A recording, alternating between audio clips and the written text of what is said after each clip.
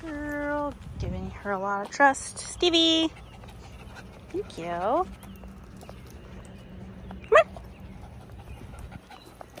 Stevie, wait. Good. Okay. So I'm doing, when I say the word wait, I'm looking for her to stop moving and put her little butt on the ground. Stevie, wait.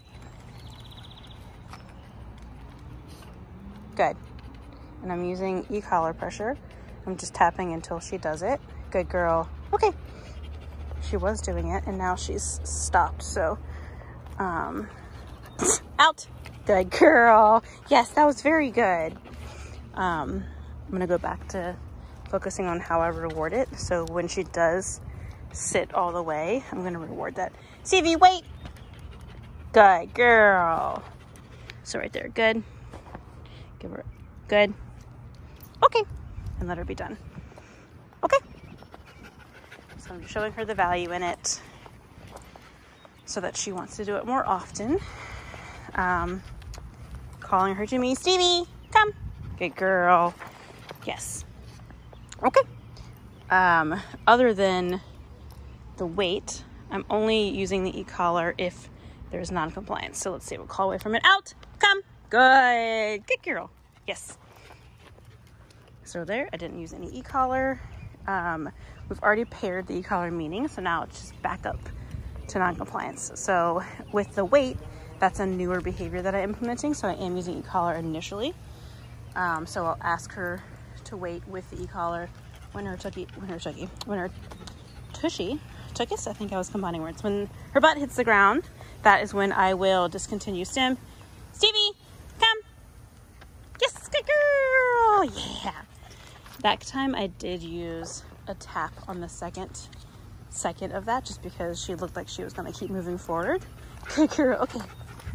Um, that was more of like a, she's a little too far away from me moment. The leash was not somewhere where I could reach if she decided to keep moving. And there's a person coming out of their house. So I decided to be a little bit more enthusiastic on getting her to come back to me for safety's sake. Stevie, come. Good girl. Yes. That, was just verbal. Very good. Okay. And so I'm calling her to me, giving her a treat, and then releasing her with that neutral okay, meaning she can go back to doing what she wanted to do. So that way she's not feeling so out. Good girl, yes. So obligated to staying with me and she's not thinking, oh, she's taking me away from fun every time she calls me away. Just so she's finding value and coming back to me.